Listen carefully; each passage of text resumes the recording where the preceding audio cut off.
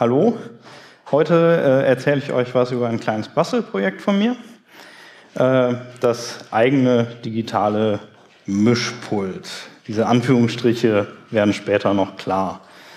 Erstmal zu mir. Ich bin Lukas Schauer. Ich studiere hier, 25 Jahre alt, äh, Informatikstudent halt äh, und mache halt in meiner Freizeit viele Dinge mit Soft und Hardware. Äh, dazu gehört unter anderem das, äh, der Let's Encrypt Client Dehydrated, das Internet of Beds Projekt, äh, auf, über das ich vor, ich glaube, zwei Jahren erzählt habe und viele kleine Bastelprojekte. Und dazu gehört auch dieser Vortrag, beziehungsweise das Projekt dahinter, das eigene Mischpult. Außerdem mache ich noch so ein bisschen Security-Zeug, aber das ist alles hobbymäßig. Ja, dann äh, beschreibe ich doch erstmal mein Problemszenario, wie es überhaupt zu diesem Projekt gekommen ist. Und zwar habe ich auf meinem Schreibtisch viele verschiedene Dinge stehen. Das fängt mit meinem Laptop an, ein paar Lautsprecher dazu. Soweit ist ja noch eigentlich ganz einfach. Dann kommt noch so ein Gaming-Rechner dazu, weil so ein Notebook und vor allem Linux, das ist für Gaming nicht so gut. Dann kam letztens noch irgendwann so ein Nintendo Switch dazu. Manchmal liegt das Smartphone noch auf dem Tisch. Und dann ist es irgendwie schon so ein bisschen schwieriger, vernünftig Audio hinzubekommen.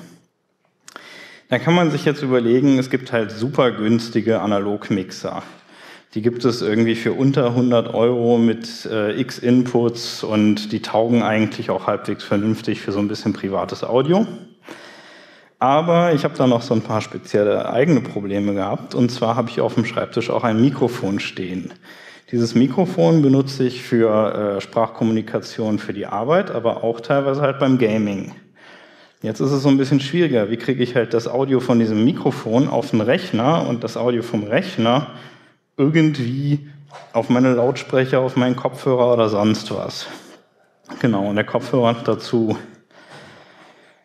Und äh, dann gibt es noch so ein paar Sachen wie zum Beispiel, wenn ich irgendwie eine Pausenmusik in eine Konferenz einspielen möchte oder sowas. Sind halt so Späße. Es muss eine bessere Lösung her. Dann habe ich mich erstmal umgeguckt und dann bin ich auf äh, Digitalmixer gestoßen. Also wir benutzen hier zum Beispiel für unsere Videoaufzeichnungen auf der Frostcon äh, die QSC Touchmix Mixer. Das sind halt so Digitalmixer, die haben äh, einen Haufen Inputs, einen Haufen Outputs und man kann damit so ziemlich machen, was man möchte. Das Problem dahinter ist, das, was da rot eingerahmt ist, der Preis. 830 Euro für mehr oder weniger ein Spielzeug ist dann halt doch irgendwie ein bisschen teuer. Ähnliche Lösungen kosten halt das Ähnliche, von daher bringen da auch andere Firmen nicht viel. Es muss also eine eigene Lösung her. Dazu habe ich mir so ein bisschen Gedanken gemacht. Und zwar gibt es relativ günstige Linux-Systeme, hier abgebildet ist zum Beispiel das PC Engines APU2-Board, aber zum Beispiel auch so ein Raspberry Pi oder sowas, was glaube ich gerade 30 Euro kostet oder so. Das hat einigermaßen CPU-Power und sollte eigentlich in der Lage sein, so ein bisschen Audio hin und her zu bespaßen. Dazu gibt es halt super günstige USB-Audio-Interfaces. Links oben abgebildet ist zum Beispiel äh, ein UCA 22, äh, 222 von Behringer. Das hat einen Stereo-Input, einen Stereo-Output, irgendwie noch Kopfhörer-Preview und sonst was und das kostet halt irgendwie unter 20 Euro. Dazu kann man halt irgendwie noch so ein teureres Interface nehmen, das hatte ich vorher schon rumliegen für mein Mikrofon und für meinen Kopfhörer. Kommt halt noch dazu. Das ist so die Hardware, von der ich irgendwie gedacht habe, damit könnte man doch super irgendwie sich so ein bisschen Audio-Routing basteln. Ja, dann habe ich irgendwie rumgeguckt, so was gibt es eigentlich softwaremäßig. Bin ich zum Beispiel auf die, äh, die Non-Audio-Suite gefunden und äh, gestoßen und da gibt es den Non-Mixer. Das ist eine große Software, die irgendwie mit dem Jack Audio Daemon zusammenspielt und äh, ja, letztendlich ein großer Mixer ist, den man frei konfigurieren kann mit Effekten und sonst was. Alles Mögliche dabei. Aber das ist mir zu clicky bunti. Das ist nicht irgendwie darauf ausgelegt, dass ich das als dediziertes Gerät irgendwo hinpacke und das läuft und es kann auch mal ausgehen und angehen, sondern es ist irgendwie mehr darauf ausgelegt, da sitzt ein Operator davor, der dieses Ding bedient. Das Gefühl hat man auch, wenn man sich die APIs von dem Ding anguckt. Das spricht zwar Open Sound Control, das tut es aber irgendwie auch nur auf der Input-Seite und irgendwie nicht auf der Output-Seite. Dann habe ich mir gedacht, dann baue ich halt was eigenes. Codename Jackie, weil Jack D der Audiodämon ist. Und zwar ist das ein, eine Sammlung von äh, Python-Modulen, die letztendlich andere Software verwaltet. Äh, da fange ich an letztendlich mit Audio-In- und Outputs. Dafür gibt es die äh, Zita-Programme. Die können äh, von ALSA zu Jack und von Netzwerk zu Jack und in viele andere Richtungen Audio halt routen. Und die sorgen letztendlich dafür, dass meine Inputs und Outputs, die ich da dranhängen habe, äh, überhaupt erstmal zur Verfügung stehen. Dann brauchte ich noch ein bisschen Kram für Lautstärkesteuerung da drin. Da äh, werde ich gleich noch genauer drauf eingehen. Einen Connection Manager, der dafür sorgt, dass alle In- und Outputs an den richtigen Stellen auch angeschlossen werden. Und äh, noch ein Volume Manager, was letztendlich so die äh, User-Facing-Seite ist, auf der ich dann selber meine Einstellungen vornehmen kann. So, mein Aufbau ist letztendlich, dass ich dem Jack Audio Daemon, der normalerweise darauf ausgelegt ist, volle Kontrolle über das Audio-Interface äh, zu haben, überhaupt kein Interface gebe, sondern äh, da ein Dummy-Interface mit null Out- und Inputs gebe und alles, was sonst dazu kommt, wird über Zita gemanagt äh, oder über andere Wege. Äh, dabei habe ich äh, theoretisch ein Problem, dass die, äh, die, der Takt von den äh, Audio-Interfaces auseinanderläuft. Das hat aber in meinem privaten Umfeld überhaupt keine Probleme bereitet. Deshalb stört mich das überhaupt nicht, dass das letztendlich äh, mehr oder weniger gegen den ersten Satz in der Jack D-Dokumentation stößt, äh, wo erwähnt wird, man soll es doch bitte nur mit einem Interface nutzen. Ja, für die Lautstärkesteuerung wie man vorhin schon halt bei dem Non-Mixer gesehen hat, irgendwie man muss halt so ein paar Fader haben oder sonst was.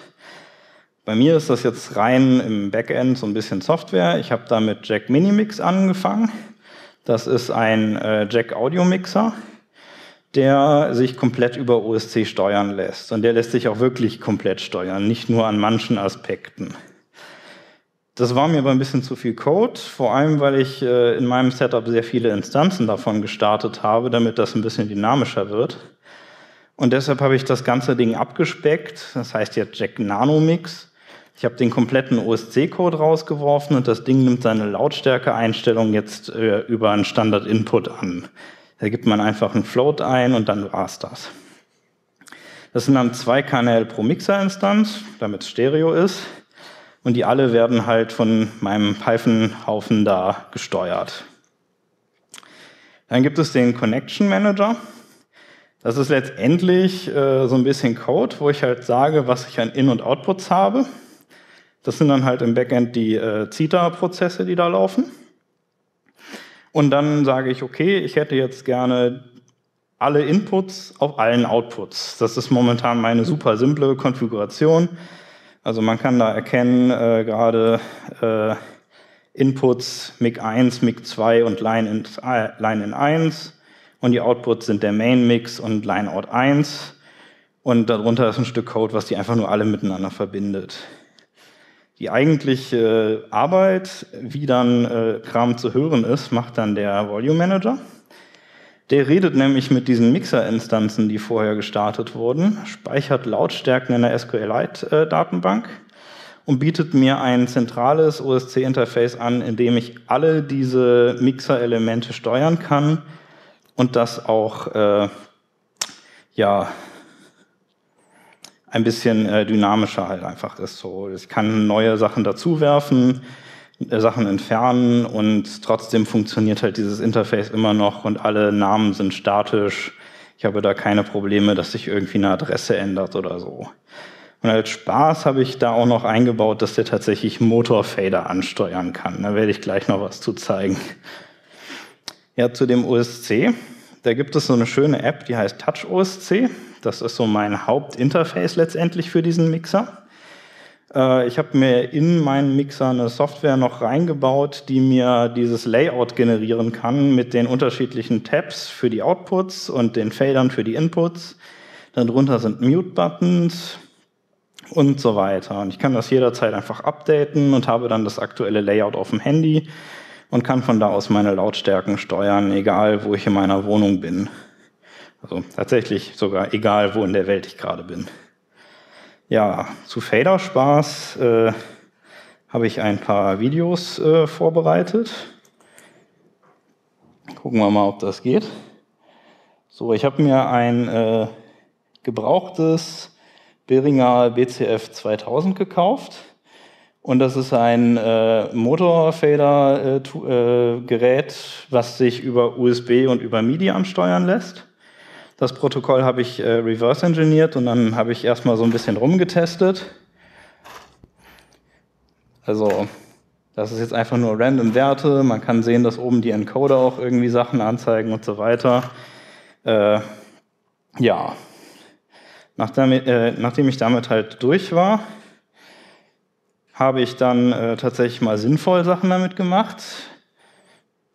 Ich kann das so ein bisschen schwer lesen, aber in der oberen Reihe stehen tatsächlich meine Input-Namen, äh, nee, meine Output-Namen und in der unteren Reihe stehen meine Input-Namen. Die oberen Buttons sind die Selection für den Kanal, äh, den Output-Kanal und die unteren sind die Mute-Buttons.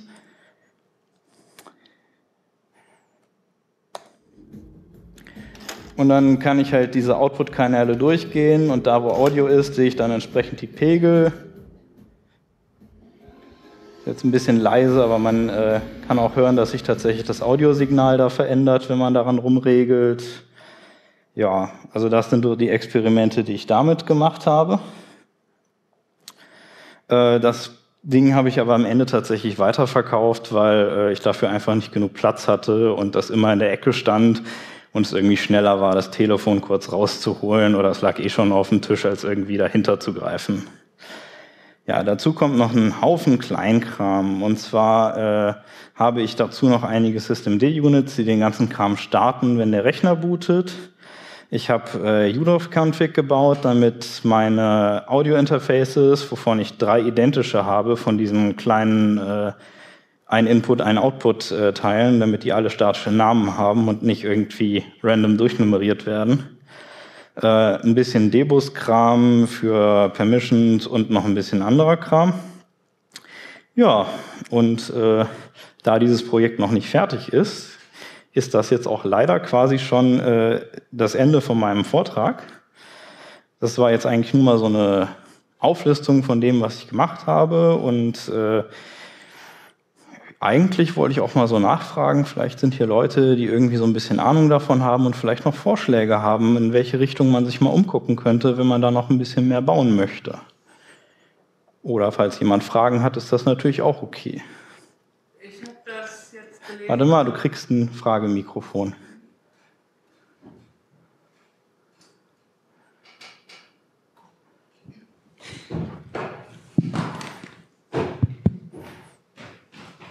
Ich habe das jetzt gelesen, dass ein blinder Musiker dieses, dieses Hardware-Mischpult da nutzt, dieses Behringer BCF.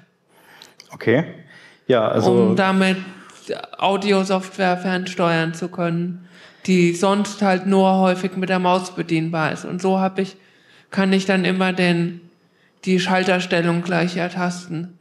Ja, genau, dafür ist so ein Interface halt praktisch. Also für Leute, die halt irgendwie entweder nicht aufs Display gucken können oder wenn man auch einfach schnell irgendwelche Sachen umschalten möchte, weil so ein Hardware-Interface ist halt schon äh, wesentlich angenehmer, vor allem wenn man mehrere, wenn man wesentlich mehr Sachen steuern möchte, als ich da jetzt habe. Und das ist halt darauf ausgelegt, normalerweise auch so äh, diese Audio-Workstations zu steuern.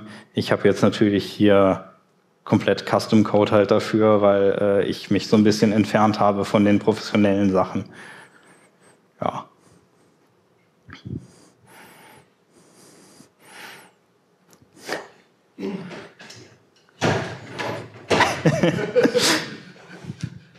ähm, eine kurze Frage. Ähm, du hast Code gezeigt, wo du sagst irgendwie, äh, wie du die verdrahtest, da, dass irgendwie alle Eingänge auf alle, auf alle Ausgänge wenn du das jetzt ändern willst, du hast für alle deine Setups äh, irgendwie dann Code, die das also, neu feiert? Die Sache ist, aktuell ist das halt noch so ein Prototyp. Die Idee, die ich am Ende habe, ist tatsächlich ein Webinterface zu haben, bei dem man sich ohne große Schwierigkeiten halt neue Verbindungen dazuziehen kann und auch sagen kann, ich habe hier ein neues Audiointerface, das hat den Namen, bitte lad das mit dazu. Und die Software hat theoretisch auch schon Support dafür. Also ich kann mich da auch äh, mit einem Debugger dranhängen und Interfaces rauslöschen und die werden automatisch entfernt, neue hinzufügen und die werden automatisch richtig verbunden. Also das funktioniert schon aber äh, das Interface fehlt halt noch. Ja. Sonst keine Fragen, Anregungen mehr? Gut, dann äh, würde ich hier auch schon aufhören und äh, danke euch für eure Aufmerksamkeit.